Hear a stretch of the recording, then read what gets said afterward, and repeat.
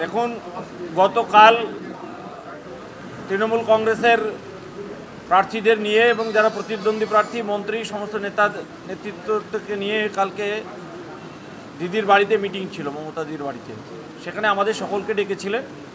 বিস্তারিত আলোচনা হয়েছে। আলোচনার সাপেক্ষে বিভিন্ন জেলার সভাপতিদের তিনি বিভিন্ন কমিটিগুলো ভেঙে দিয়ে নতুন করে কমিটি করার জন্য সভাপতি নিয়োগ করেছেন। সেই সঙ্গে মুর্শিদাবাদ জেলাও তার তালিকায় আছে। মুর্শিদাবাদ জেলার কমিটিও তিনি ভেঙে দিয়ে নতুন করে আমাকে দলের দায়িত্ব দিয়েছেন। মুর্শিদাবাদ জেলা তৃণমূল কংগ্রেসের সভাপতি হিসেবে। ওনার আশা, প্রত্যাশা মুর্শিদাবাদ জেলাকে নিয়ে আগামী দিনে অনেক বেশি। উনি চাইছেন মুর্শিদাবাদ জেলায় সাংগঠনিক শক্তি বৃদ্ধি হোক এবং মুর্শিদাবাদ জেলার বাইশটা সিট, এখানে বাইশটাই আগামী দিনে যেন তৃণমূল পায়, সেই জন্য আগামী দিনে তার প্রস্তুতি শুরু হোক। এবং গোষ্ঠীদ্বন্দ্ব যেখানে যেটুকু আছে, সেটুকু মিটিয়ে ফেলা হোক। এটা ওনার মনের ইচ্ছে। সেই ইচ্ছের কথা আমাদেরকে জানিয়েছেন।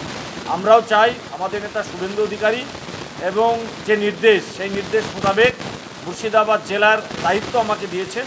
আমি নিশ্চয়ই সকল নেতৃত্বকে নিয়ে যাতে তৃণমূল কংগ্রেসের মধ্যে কোনো গোষ্ঠী কন্দল না থাকে। তৃণমূল কংগ্রেস একটাই দল থাকে মুর্শিদাবাদে।